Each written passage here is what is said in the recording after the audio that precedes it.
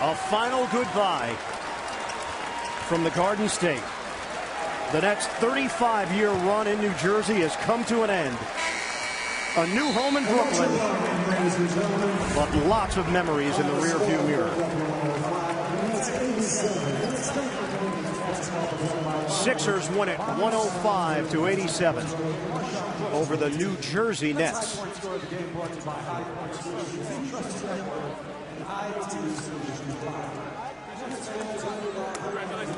At halftime, they celebrated this franchise's history.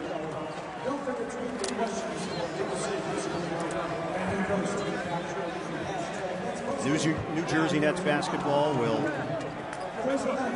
be remembered, but it'll be the Brooklyn Nets from now on. One more game officially as the New Jersey Nets. No more games here in the state of New Jersey. Nets will make the move to the Barclays Center starting next season.